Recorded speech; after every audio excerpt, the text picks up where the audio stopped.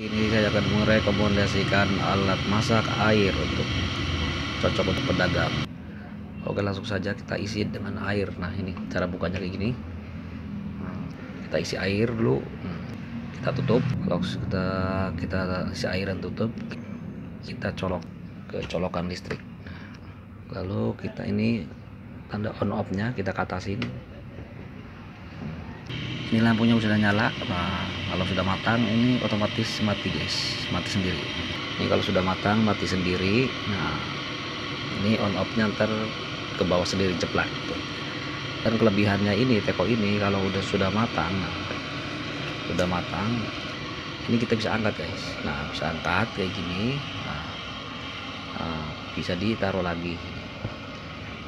Jadi bentuknya gini nah ada tuh adanya nah, kita bisa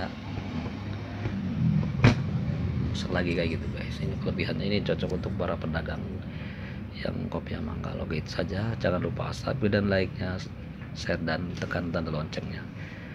Terima kasih